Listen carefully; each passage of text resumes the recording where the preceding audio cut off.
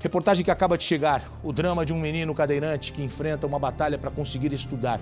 Essa se tornou uma das principais histórias do dia. Roberto, guarde esse nome.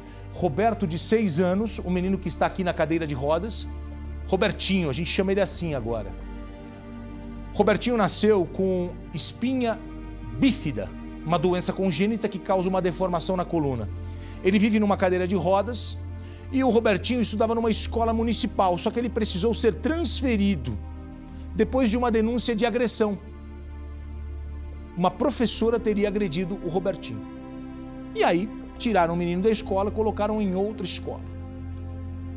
A escola mesmo aconselhou a mãe, Elisângela, a transferir o filho para uma escola do estado no início deste ano. E aí começa um novo drama. A nova escola não é preparada para cadeirantes tem muitas escadas.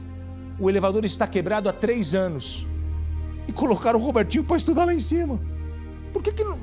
As escadas, olha, olha as escadas. Pô, se o menino usa cadeira de rodas, pega uma, uma, uma classe lá de cima que não tem ninguém com cadeira de rodas e troca. Não é mais fácil? Pega uma classe embaixo, pega uma classe embaixo que não tem ninguém com cadeira de rodas, troca lá para cima e põe o menino aqui, a classe do menino embaixo. Só que aí a gente descobriu que a luta do Robertinho começou no nascimento. Esse menino foi abandonado em um hospital quando nasceu e falaram: olha, o menino tem um probleminha, ele não, ele, ele não anda. A mãe falou: não quero. Por causa da condição dele, ele foi abandonado na maternidade.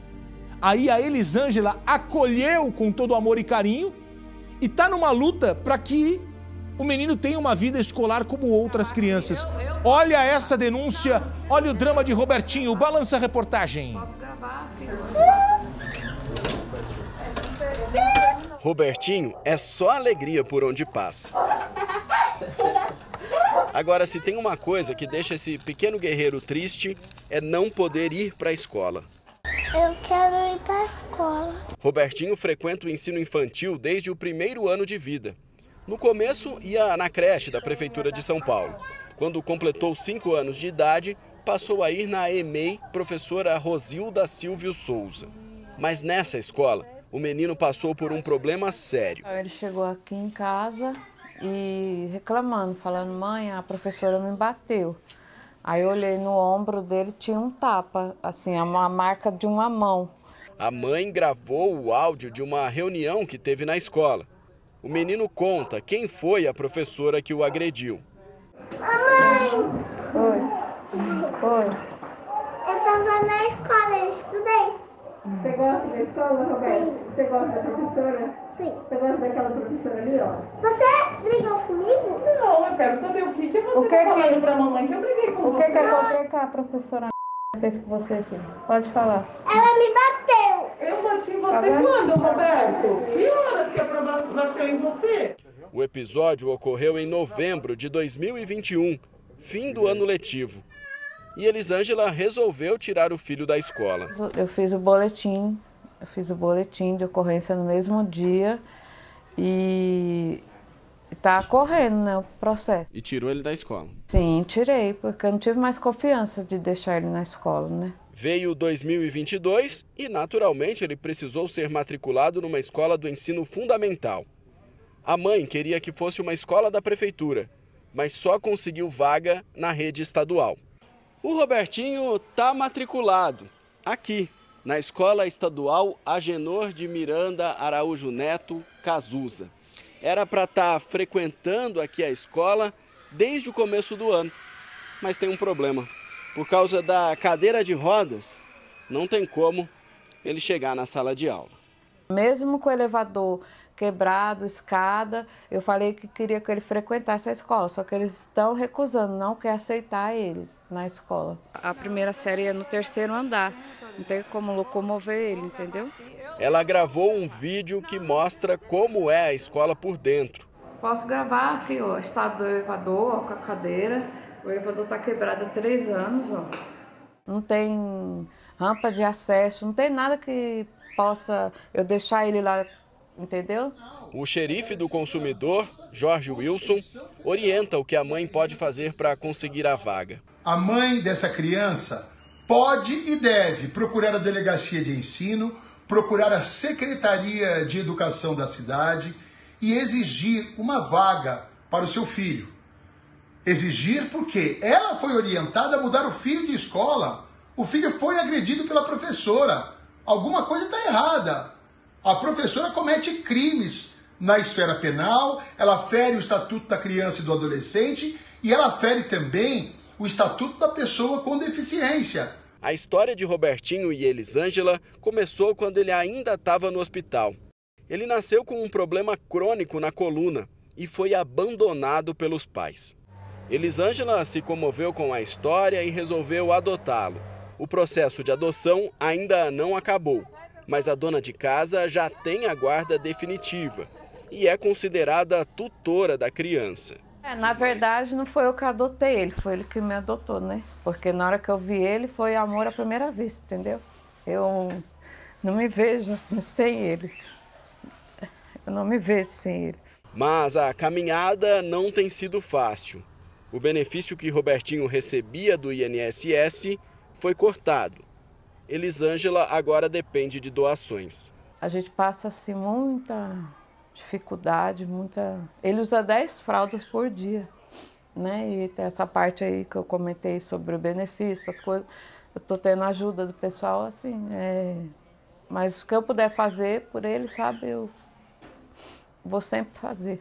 Tantos desafios não são capazes de tirar a confiança dessa mulher forte e guerreira. E ele fala que ele quer ser um doutor. Ele quer ser um doutor para cuidar de mim, né?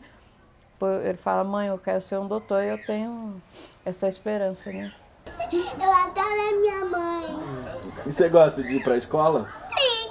Você queria ir para a escola? Sim. Não a mãe? Mãe, vamos ir pra escola comigo? Vamos, vou te levar para a escola, tá bom? Tá bom. A gente vai conseguir uma escola, tá bom? Sim. É, deixa eu só falar uma coisa pra vocês. Pode, olha, se você me achar um idiota, você pode escrever, falar, ó, eu acho, achei uma idiotice o que você falou. É, a primeira coisa é tentar colocar uma classe lá embaixo, no térreo. Ok? Vê se tem uma classe embaixo, põe uma classe embaixo. A gotina não tem jeito, classe só em cima e, tem, e o elevador tá quebrado. Primeiro, uma vergonha. Um elevador tá quebrado três anos. Secretaria Estadual de Educação diz que já é, é, fez, já pediu, vamos lá, já pediu um orçamento. Porra, três anos pediu um orçamento. Pelo amor de Deus, vocês estão brincando com a minha cara? É isso que eles escreveram? Um orçamento, pediram agora um orçamento para o conserto do elevador da escola. Que foi oferecida uma vaga em uma outra escola com acessibilidade, mas a mãe prefere uma vaga na escola tua mãe. A mãe quer uma, uma escola perto. Porque não adianta depois. Eu, eu tenho um elevador na, na outra escola, mas ela três ônibus, metrô, avião, trem. A mulher tem que acordar 4 horas da manhã para levar o menino às 8. Sobre a agressão sofrida pelo Roberto, a Secretaria Municipal diz que está apurando o caso. Ok. O balanço foi atrás para saber por que, que o benefício do Roberto foi cortado. E o INSS diz que está verificando com a área técnica para entender o que aconteceu. Mas eu queria só falar um negócio. Não dá para colocar uma classe no térreo? Eu- Pode, ó, vem na 2 aqui que eu quero botar o Lombardi na história.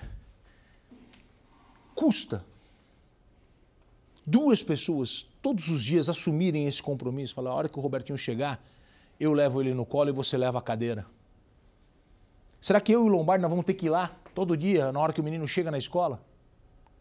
Vai ser complicado porque depois nós temos que voltar para cá. Eu chego aqui às seis e meia, o Lombardi chega um pouquinho depois. Não dá para duas pessoas que trabalham na escola falar, "Ô, vamos, vamos resolver esse problema. É o seguinte, enquanto não conserta um elevador, quando o menino chega, eu levo o menino no colo.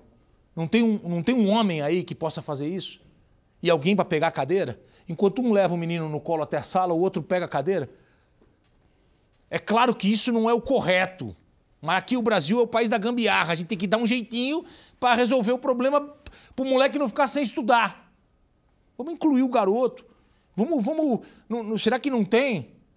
Não tem um homem nessa escola para falar todo dia, quando o Robertinho chegar, eu levo ele no colo. E aí uma outra pessoa vem com a cadeira e sobe a escada com a cadeira. A hora que acabar a aula, o menino desce. Alguém vai lá e pega o menino no colo. Desce. Alguém traz a cadeira.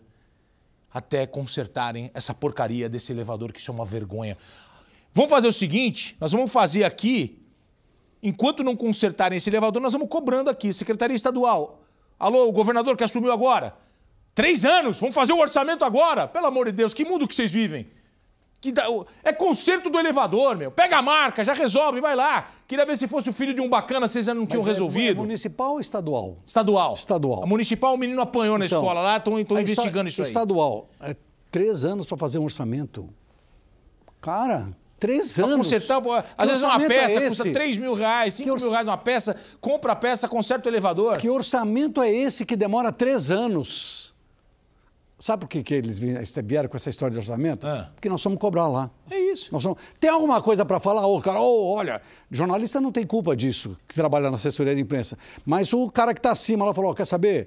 Fala que a gente vai pedir um orçamento aí, tudo Três bem. anos pra pedir um orçamento. Isso é acham piada. que a gente é Isso trouxa? é piada. Desculpa, é piada. A gente só tem Piada. cara de bobo e o jeitinho de É, andar. o resto, isso aí. gente, bobo a gente não é, né, meu? Pelo amor de Deus.